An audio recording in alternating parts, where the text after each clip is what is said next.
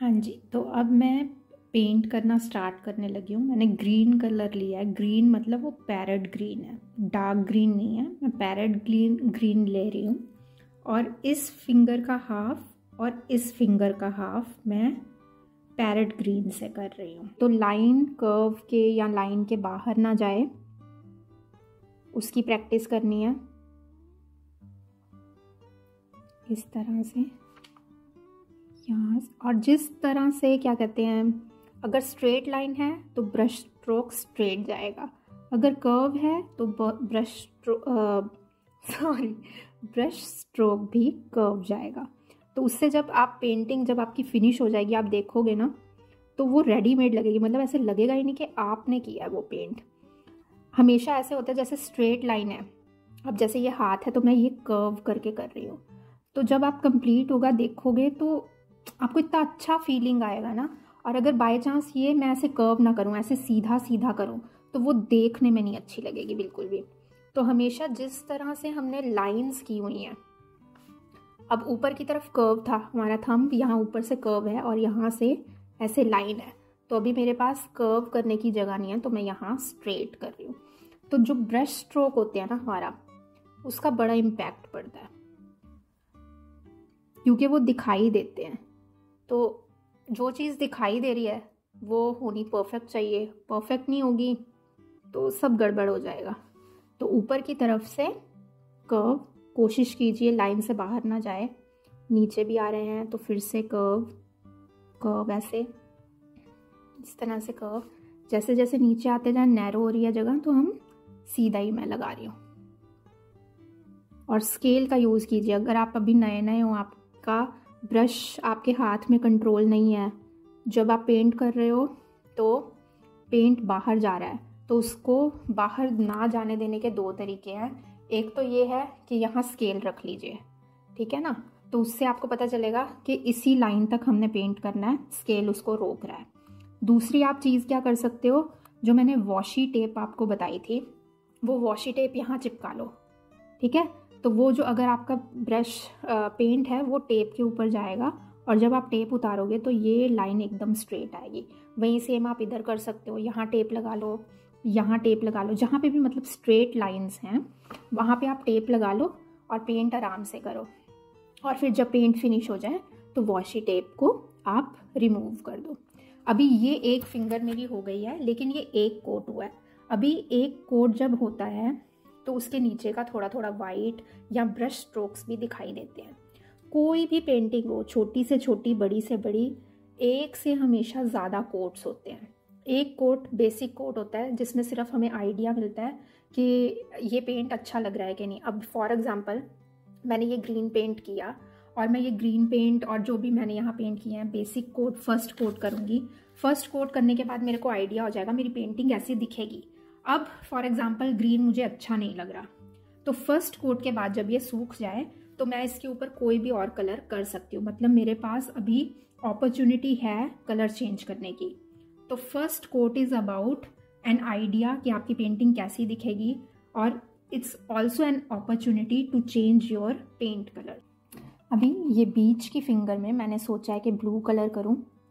तो blue colour कर रही हूँ। अच्छे से पहले ब्रश क्लीन कर देना है, क्योंकि अगर ग्रीन कलर होगा तो ब्लू की शेड एकदम चेंज हो जाएगी।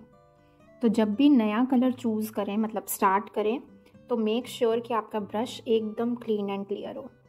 टाइम टू टाइम अपने जो मग आपने रखा है या कप, जो भी रखा है पानी का, जिसमें आप ब्रशेज़ क्लीन कर रहे हो टाइम टू टाइम उसका पानी चेंज करना है। क्योंकि बार बार ब्रशेज़ धो धो के वो पानी इतना गंदा हो जाता है कि फिर आपकी पेंटिंग एकदम बर्बाद हो जाएगी जब आप ब्रश क्लीन करोगे। तो हर दो तीन कलर्स के बाद मेक श्योर sure कि आप उसका आ, पानी चेंज करते हो।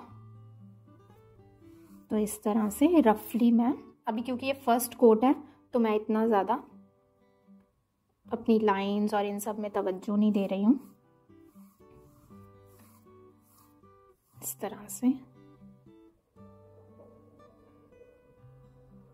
शेप बस मेंटेन करके रखनी है, जहाँ कर्व है, वहाँ कर्व ही लगना चाहिए। स्ट्रेट लाइंस नहीं आनी चाहिए। अब यहाँ पूरा ऐसे कर्व है। तो इस स्टेज पे जब हमने फ़र्स्ट कोट कर दिया आप अपना तो आप इस स्टेज पे विजुअलाइज कर सकते हो कि आपकी पेंटिंग कैसी दिखेगी। एक आइडिया हो जाता है। And if you want to change your colour yellow की जगह अगर आपको कोई और करना है ग्रीन की जगह, किसी की भी जगह तो बहुत ईजिली सेकेंड कोट में आप वो चेंज कर सकते हो कलर क्योंकि अभी इतना ज़्यादा डार्क नहीं हुआ बीच बीच में वाइट दिख रहा है तो this is a good chance to take a decision कि आपको यही शेड्स रखनी है अपनी पेंटिंग में या चेंज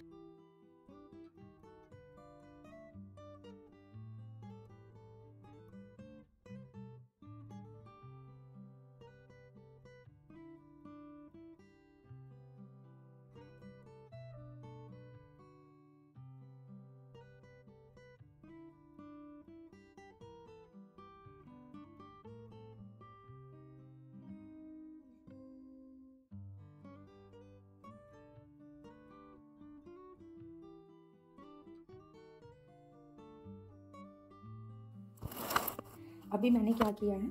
ये सारा प्रिपेयर कर लिया। उसके बाद ये जो एकदम सीधी लाइन है, उसमें यहाँ बीच में एकदम सेंटर में मैंने एक छोटा सा सर्कल बनाया है with the help of this tape ये मेरे पास सेलो टेप थी तो उसके सेंटर से एक छोटा सा यहाँ सर्कल बना दिया। अब ये सर्कल बना दिया है और उसके लेफ़्ट हैंड साइड और राइट हैंड साइड दोनों साइड मैंने टू टू सेंटीमीटर की लाइन लगाई है। वो इसलिए है ताकि मैं एक आए बना सकूँ, आँख बना सकूँ। तो अब हमें इस साइड के एंड स्टार्टिंग पॉइंट को इस साइड के एंड पॉइंट तक एक ऐसे कर्व बनानी है। और सिमिलरली नीचे तो एक पूरी आँख बन जाएगी। तो यहाँ से स्टार्ट करना है। Try to make a curve अगर आपके पास कुछ सर्कुलर चीज़ है तो आप उससे भी बना सकते हो। पर ये सब स्किल्स भी ज़रूरी हैं। इसी से कर्व बनाना आएगा। तो आई को टच नहीं करना है मतलब सर्कल को टच नहीं करना है and try to make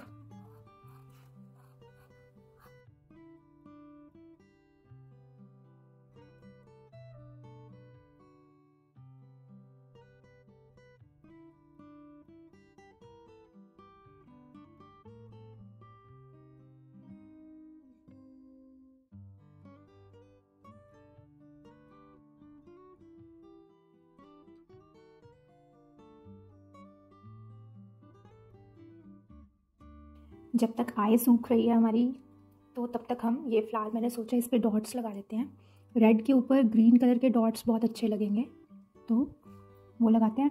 her बार आपने डिप करना है, क्योंकि अगर एक बार डिप करने के बाद दो या तीन बार, दो बार तो चल जाएगा। अगर तीन बार ये सब करेंगे तो वो पेंट ख़त्म हो जाता है बेसिकली और डॉट्स बनते नहीं है, नीचे से बैकग्राउंड दिखाई देता है। तो हर बार, चाहे आप ब्रश का बैक साइड यूज़ कीजिए, चाहे ये यूज़ कीजिए, हर बार आपको पेंट में डिप करना है। And then just make a dot. और इसको प्रैक्टिस करना है कि हर डॉट के बीच में जो डिफरेंस uh, है वो सेम होना चाहिए। ये नहीं कि एक डॉट बहुत आगे है एक डॉट बहुत पीछे डिस्टेंस शुड बी सेम। तभी वो एक सिमिट्री मेंटेन होगी और वो डिज़ाइन देखने में अच्छा लगेगा। और डॉट्स भी डॉट्स की शेप भी सुंदर होनी चाहिए। मतलब डॉट जैसा लगना चाहिए वो बिखरा हुआ ट्रायंगल या कुछ और शेप नहीं होनी चाहिए। Just dip and make a dot. Dip and make a dot